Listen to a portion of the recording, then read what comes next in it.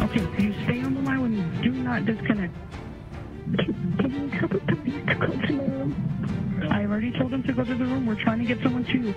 Hundreds of new documents released related to the Robb Elementary School shooting. We're talking phone calls, videos, and a whole lot more. This after a long legal battle. Good evening and thanks for joining us. I'm Darian Trotter. We received those files late this afternoon and ever since News 4 San Antonio's Amanda Henderson has been sifting through them. Tonight she shares what's been revealed.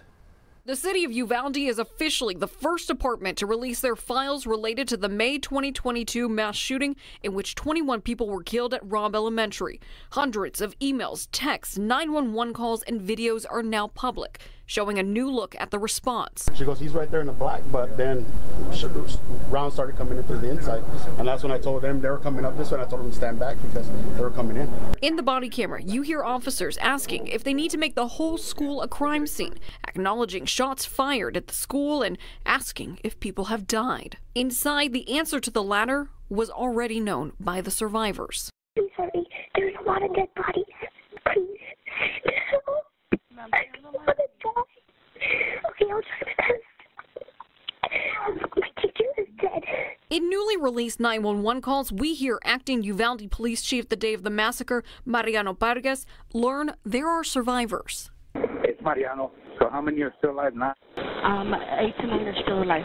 Hundreds of pages of emails reveal then Uvalde Mayor Don McLaughlin was offered assistance and provided a document on how to handle a mass shooting response. Emails from different departments also discuss Uvalde police records on the gunmen, and then Uvalde CISD Chief Pete Arredondo being elected to city council.